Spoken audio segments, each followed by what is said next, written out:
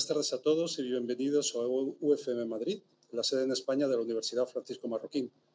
Hoy es un gran día para nosotros, un día muy feliz, después de unos meses, un año y casi dos años muy complicados, muy difíciles, pues eh, volvemos a estar abiertos, volvemos a tener la vida que, teníamos planificada desde el principio.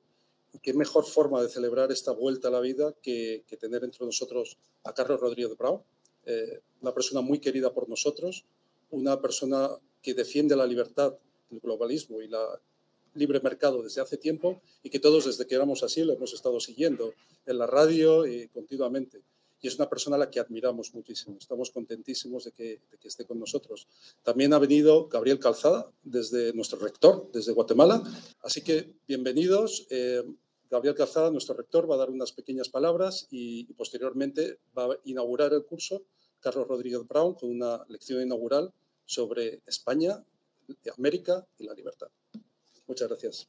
A lo largo de, pues, de estos años, no hace tanto, ver lo que Carlos Rodríguez Brown ha ido construyendo en términos de eh, teoría liberal, eh, doctrina, historia de las doctrinas económicas y difusión del pensamiento liberal ha sido realmente impresionante. El otro día comentaba con un amigo que posiblemente nadie había hecho tanto eh, para la comprensión, para la profundización, para la difusión de las ideas liberales como Carlos en, los últimos años. Y eh, yo un día le decía a Carlos que, para mí nosotros hemos tenido la suerte de dar con el Bastiat moderno, que es él, es Carlos Rodríguez Brown. Bastiat combinaba esas dos, esas dos cualidades, ¿no? la cualidad de, de profundizar en la teoría, de hacer avanzar la teoría y al mismo tiempo hacerla tan sencilla que cualquier persona pudiese entenderla. Y eso ocurre muy raras veces, muy pocas veces, y poder tener eh, con nosotros a Carlos Rodríguez Brown, eh, poder tener a nuestro Bastiat moderno, tenerle de profesor, tenerle de amigo, tenerle de, doctor honoris causa de la universidad, es de verdad un, un lujo. ¿Qué tienen en común España, América y la libertad?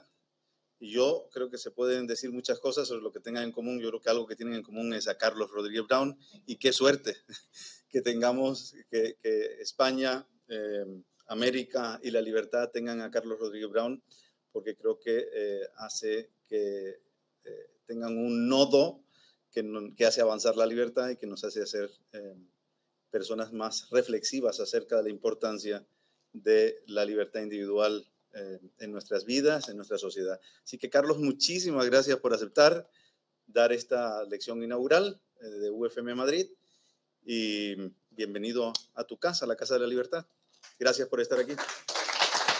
La Universidad Francisco Marroquín, a cuyo claustro me honro en pertenecer, como profesor y como doctor honoris causa, como recordó Gabriel, podría parecer una especie de, de rara avis, porque, porque es una buena universidad que forma personas competentes en diversas profesiones en las que consiguen buenos empleos y les inculca el aprecio por los valores que consolidan a una sociedad de mujeres y hombres libres irresponsables, como es el lema de nuestra universidad.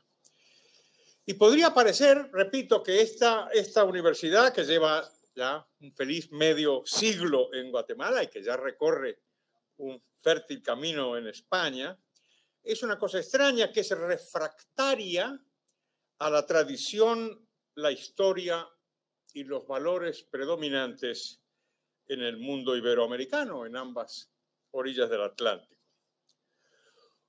Pues bien, eh, hoy quiero decirles que esto es un estereotipo y si todos los pueblos en alguna medida los padecen, sospecho que nuestro mundo, nuestro mundo iberoamericano los padece quizá en, en una manera particularmente acusada, tanto en el terreno de los hechos como en el terreno de las ideas.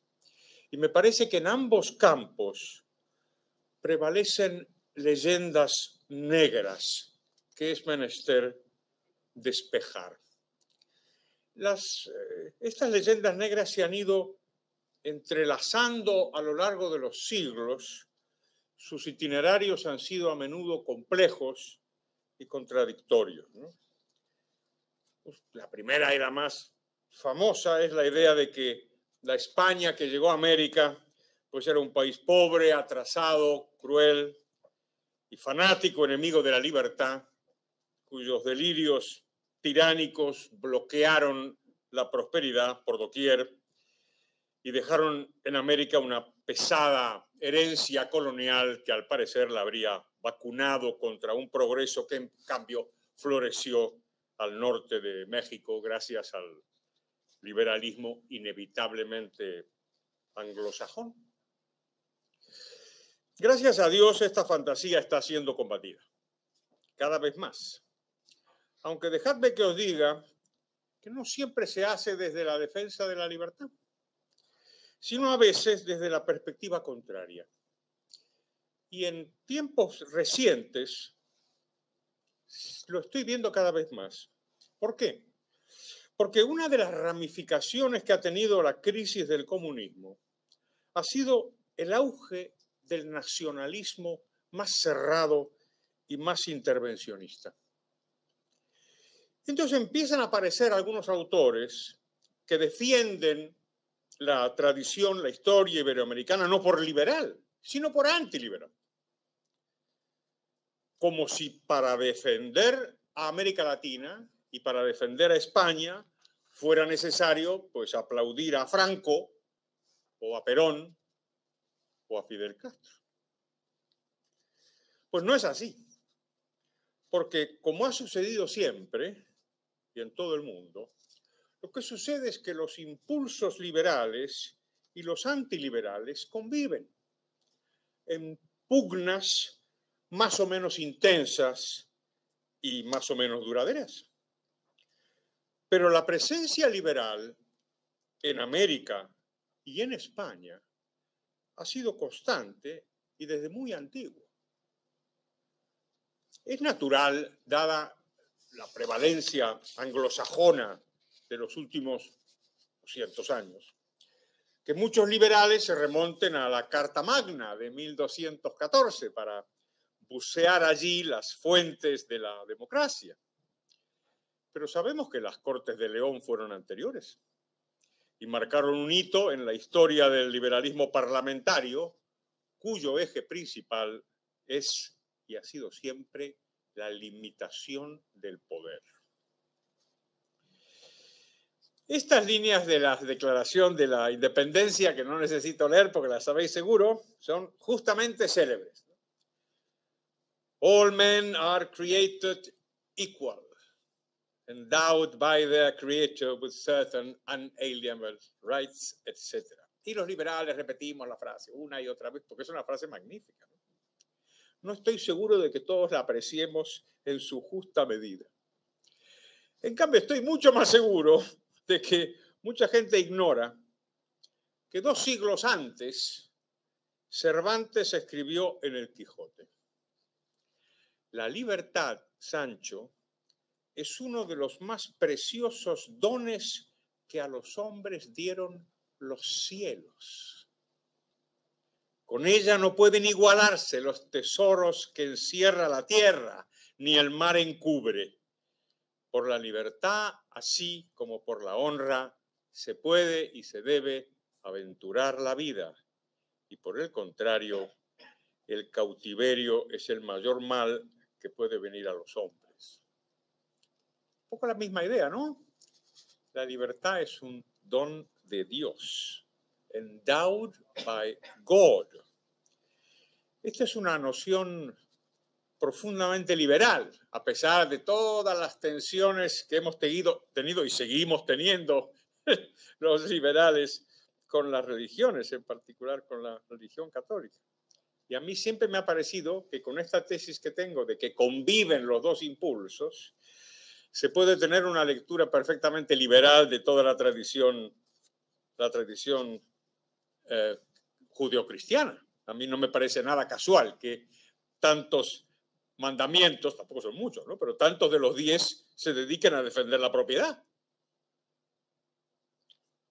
o a limitar el poder político, condición indispensable para defender la propiedad. No es casual. Si está Dios por encima de todas las cosas, está también por encima del poder. Y esa es una idea profundísimamente liberal. Pues bien, a don Miguel de Cervantes, esta idea y otras liberales que tuvo, que tuvo muchas, ¿eh? no se le ocurrieron por casualidad, sino porque entonces en España y también en la América hispana se estaba extendiendo el pensamiento de unos estudiosos, ya reconocidos, gracias a Dios, en nuestros días como hitos en la historia de las ideas de la libertad. Entonces también, no es nada casual que el señor Jefferson, a quien admirara, era Juan de Mariana. Destacados autores, sobre todo españoles e iberoamericanos, nativos o por adopción, insistieron desde mediados del siglo XX en subrayar la importancia de los escolásticos españoles, no solo en el pensamiento económico, sino en el político, y en su noción clave, repito, la de los límites del poder. Como hay muchos, voy a, vamos a ser cosmopolitas y dejarme que mencione a dos extranjeros. Marjorie Grace Hutchinson, inglesa nativa, pero española, más concretamente malagueña, de adopción. Y Oreste Popescu, que nació en Rumanía, pero emigró a la Argentina, donde ejerció un provechoso magisterio. Es importante la figura de Popescu, es mucho menos conocido que, que nuestra amiga Marjorie Grace Hutchinson, porque fue uno de los más destacados defensores, el profesor Popescu, a quien conocí también como a Marjorie, defendió la idea de que la escuela de Salamanca no fue una escuela solamente española, fue una escuela española y americana. Y en las grandes universidades de América se discutieron estas cuestiones políticas, las cuestiones del poder, la cuestión del rey, la cuestión de los límites del poder político, antes de que hubiera centros académicos de excelencia en la América más septentrional.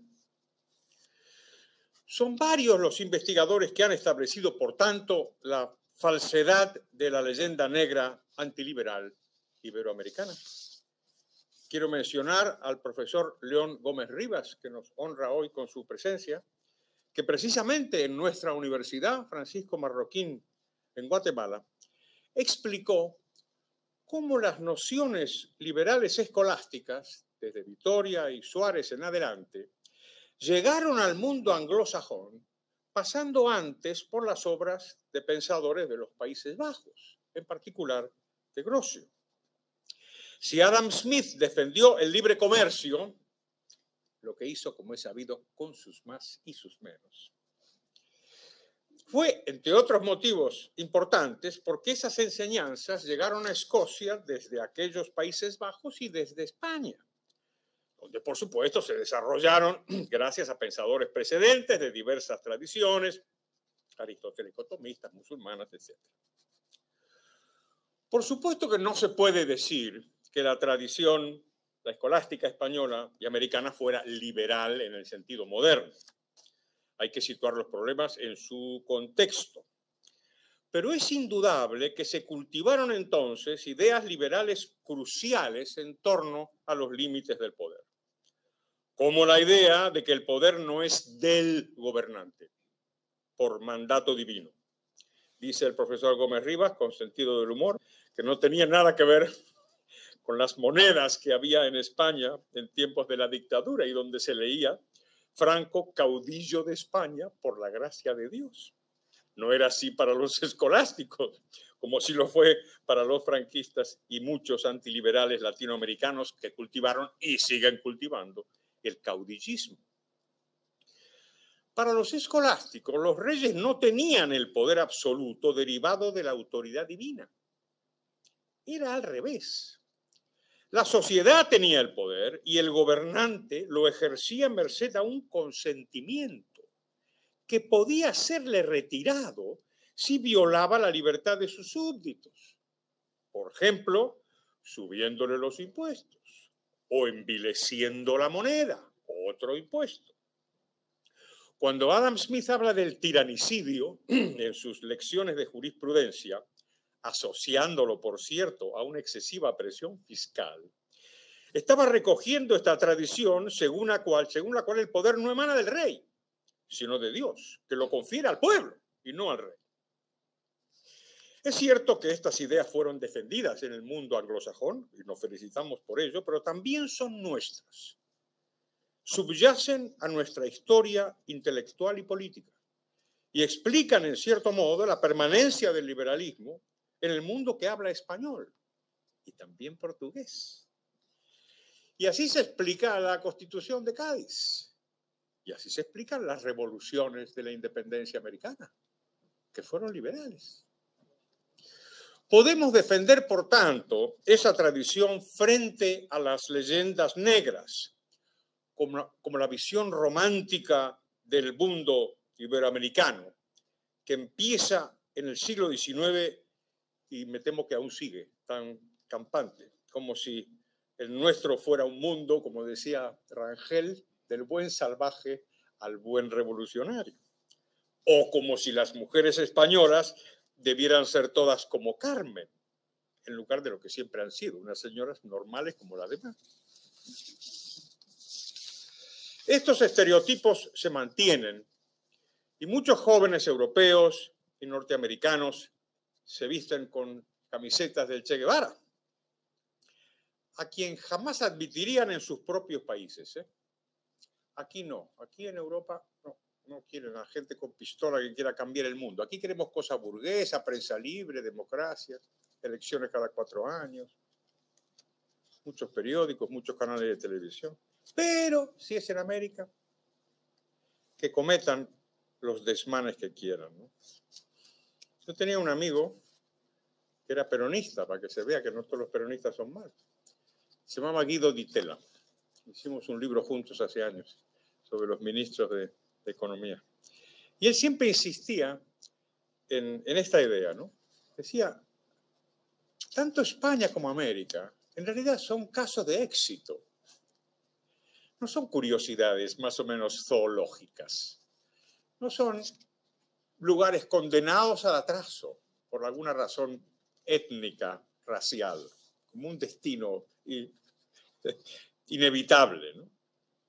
Claro que es un caso de éxito, con todos los matices que queráis, que los humanos podemos ser muy bestias, pero es profundamente injusto que se nos considere poco menos que incapaces del progreso, incapaces de la democracia, incapaces de la paz y el respeto a los derechos humanos. Unos derechos, por cierto, de los que se habló en América y en España antes que en otros lugares. Lugares, por cierto, bastante más propensos a violarlos de manera masiva y perdurable, mientras imparten lecciones a los demás. Es lógico, por tanto, que disfrutemos de nuestra universidad, Francisco Marroquín, ahora también en España, y que digamos que viva la Marro, claro está, como la llamamos los que la queremos tanto, que viva América, que viva España y que viva la libertad.